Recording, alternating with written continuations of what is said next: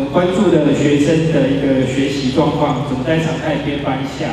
上位民国八十七年开始，就实施常态编班，不过南大关一直到今年才彻底来落实，为了顺利推动，县政府教育处主动来举办说明会，希望减少家长的烦恼。是感觉到那个，当然那位长官啊，是在用上面的命令压你们，啊，你们很辛苦。可是呢，我们所感受的是，你们也用行政这个命令来压我们，务必让我们接受的感觉。有分班化，在。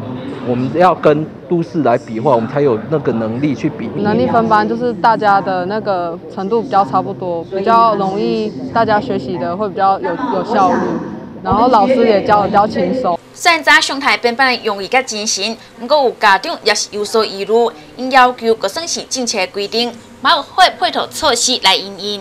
中央的政策，这是我们没办法去改变的，可是你要有配套措施啊，比如说。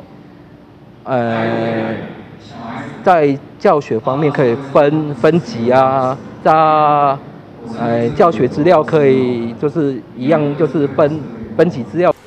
关政府教育表示，为了教育资源会使公平分配，上台分班是一定爱做的，而且除了有专业的辅导团提醒老师教册能力，也进行分组教学，加强学生囡仔学习。